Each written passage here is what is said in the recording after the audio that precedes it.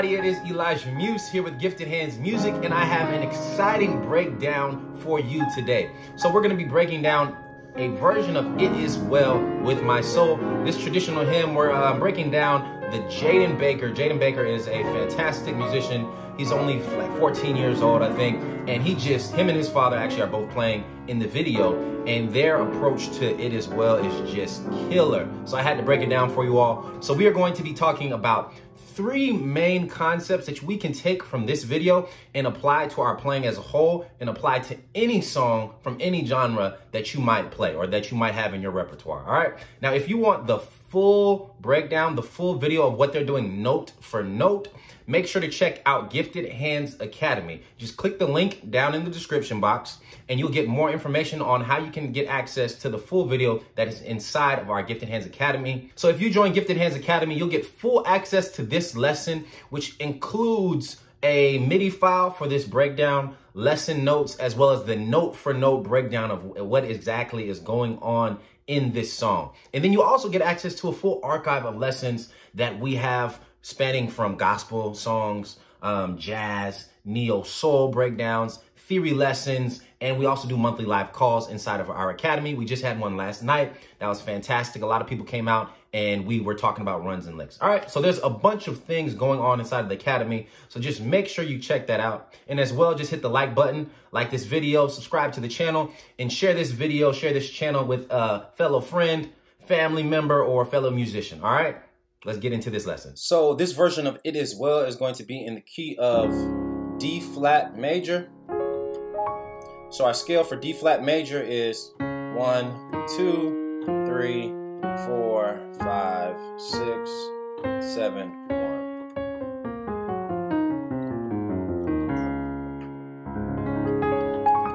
So there's only two white notes in D flat major, which is F and C, okay? Everything else is black notes. So the very first thing that I recognized and was able to learn from this version of It Is Well was the use of drop two voicings and combining that with the use of inversions. So what do I mean here? Let's let's kind of just play through this a little bit, right? Let's let's take it from the top.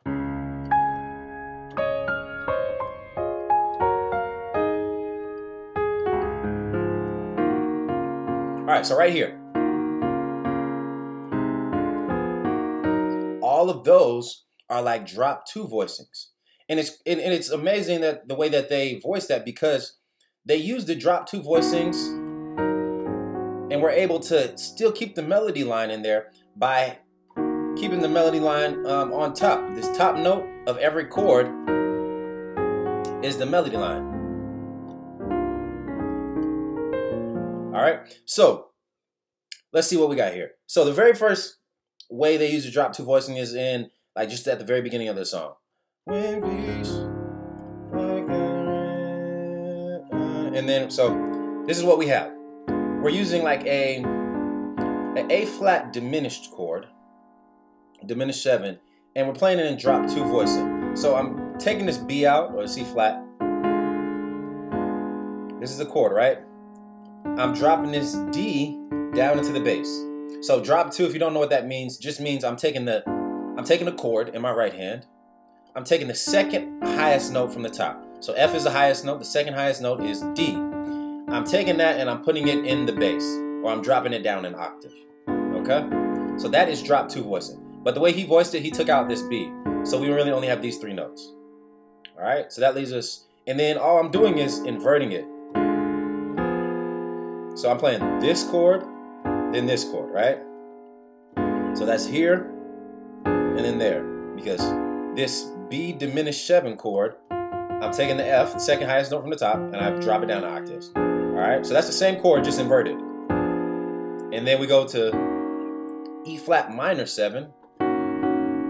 And that E flat minor 7 is also in drop 2. Why? Because this is my E flat minor 7 chord, the 2 chord, right? But he inverted it because we wanted the melody line on top. So it's inverted, and the second highest note is E flat. I drop that, put in the bass. And then we invert it again.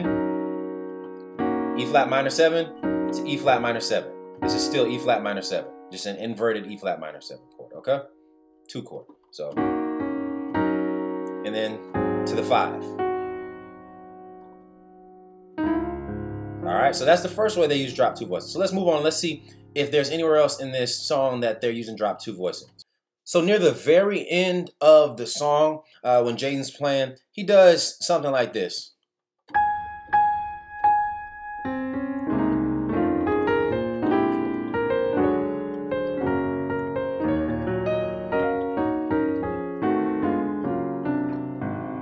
All right, so that whole movement is all drop two voicings. It's crazy, right? It sounds insane what he's doing. But it's just a bunch of drop two voicings like compiled together. So let me just break down what, what that is real quick.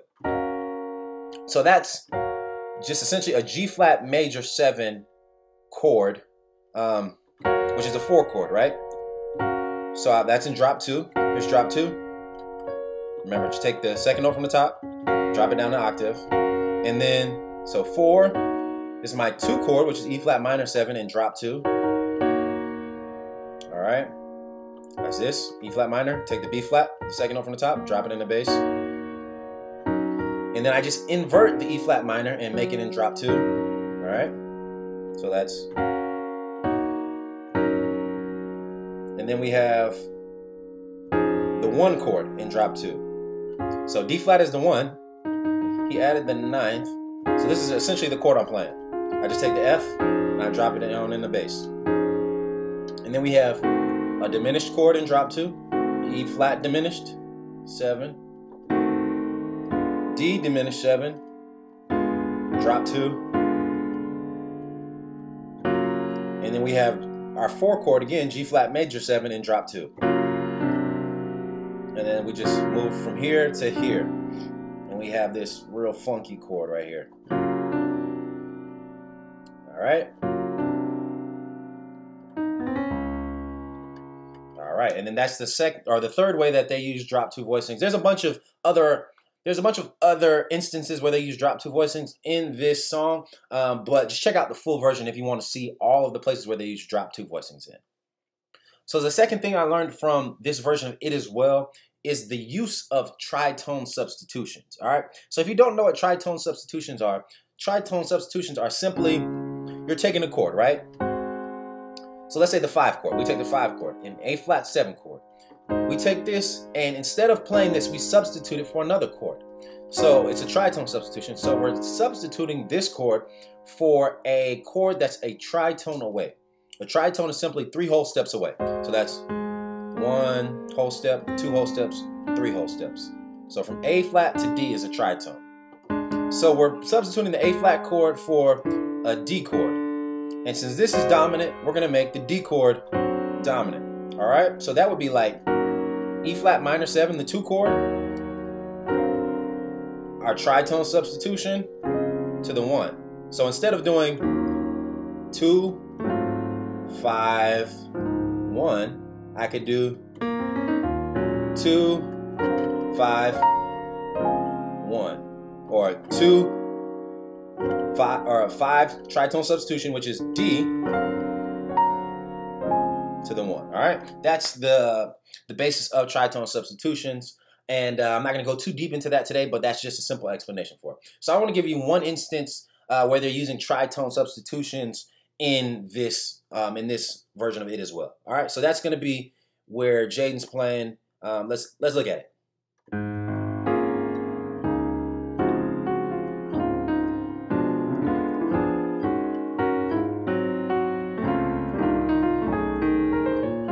All right, so right there, right? When peace.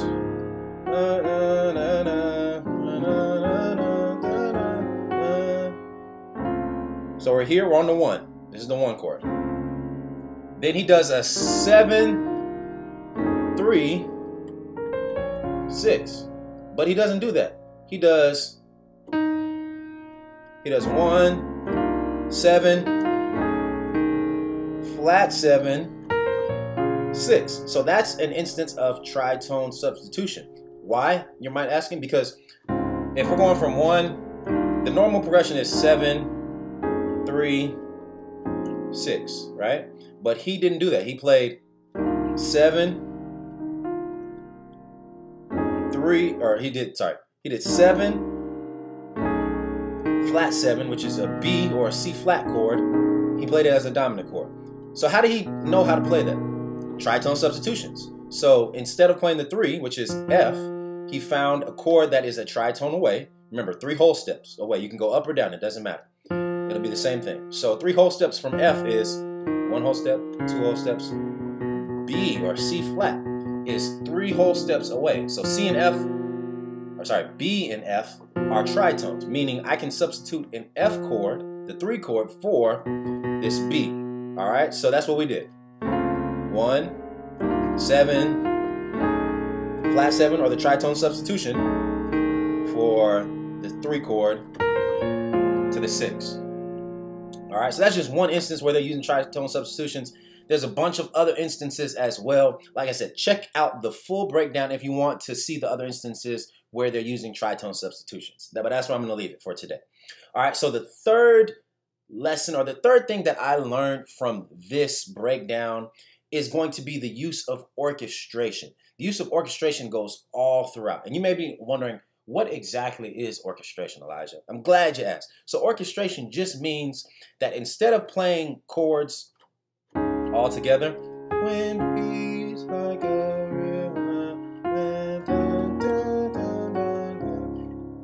instead of playing them all together, playing all the notes at the same time, we're kind of arpeggiating and we're we're breaking up the monotony of playing the chord all together. So look what I mean.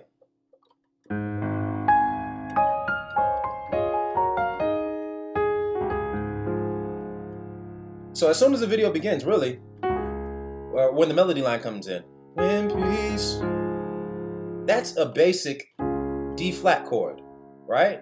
But instead of playing a basic D flat chord, um, Jaden's dad, the piano player, he broke it up. And this sounds much more interesting and it fills up more space, right? Than just playing Wind Peace. So you can use this technique in any song. Wind Peace. So first he rolled up he's playing the melody line on top, right? So if you want to improve your playing, always play the melody line on the top. Keep that melody line as the highest note, okay? Wind, peace. So we roll to the A flat from the G flat. Wind, peace. And then I'm playing one, five, three, and five. Wind, peace. That's orchestration. All right, that extends your harmony and extends um, your chords and it fills up dead space. Like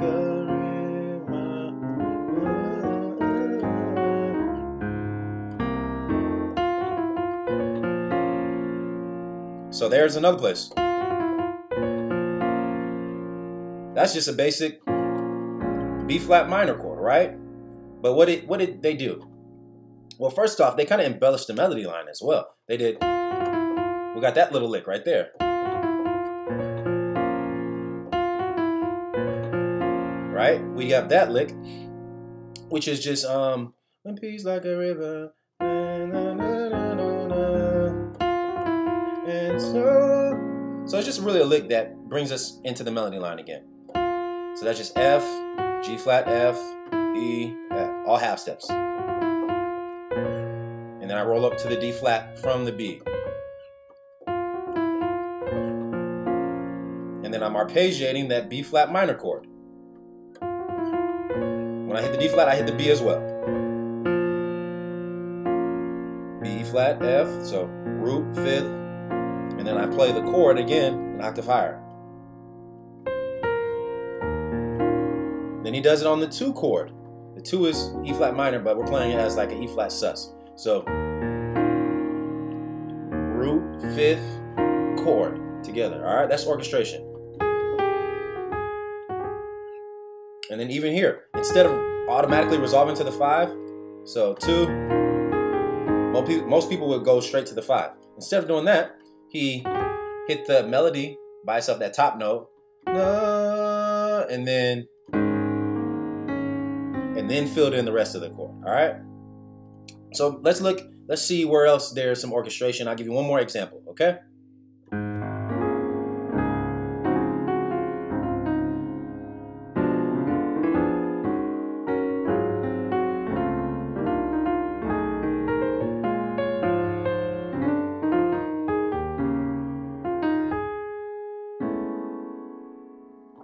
All right. So yeah, let's let's look right there. Uh, we have this seven. So one, seven, tritone substitution, and then to the six, right? So that's like a some type of seven three six. One, seven, sub substitution for the six, three to the six. So when we hit to the six, it's a B flat minor chord. But what happens?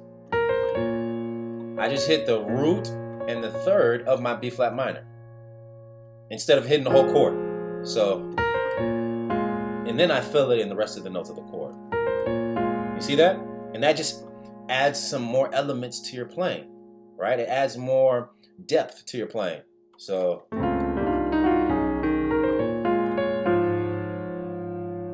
so I do it on the six to the five, then here. We keep going, all right? So that is just another example of orchestration. Like I said, if you want every single thing that's done in this video, if you want the full breakdown of what's going on in this version of It Is Well with Jaden Baker, make sure you check out Join Gifted Hands Academy. Just click the link in the description below and you'll get all the information you need on the Academy. Um, until next time, though, I hope you all got something from this lesson. I hope you all enjoyed, and I will see you all very, very soon.